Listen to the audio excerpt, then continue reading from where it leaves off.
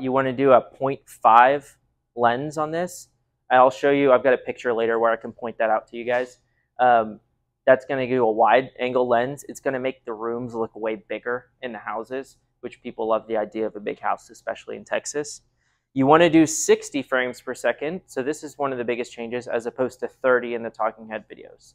The reason we do 60 is because a lot of the time you see slow-mo, right? You're going to put slow-mo on your house tour videos.